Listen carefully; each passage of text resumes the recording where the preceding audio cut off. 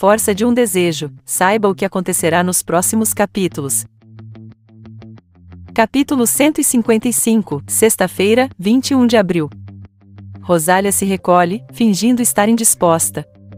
Mariano marca encontro com Olivia na senzala, convence Luzia a voltar sozinha para Santana. Socorro chantageia Juliana, exige que lhe dê o broche de brilhantes, Abelardo se desespera ao encontrar o pai morto e a pistola de Inácio sobre o criado mudo, decide chamar a polícia. Leopoldo diz que ouviu o neto ameaçar Sobral, mas não acredita que tenha atirado nele. Idalina surpreende Alice mexendo no armário de Inácio, cobra uma explicação.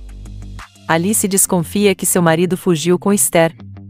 Abelardo hesita em criar uma versão para a polícia, desconfia de Inácio. Rosália diz a ele que viu o assassino,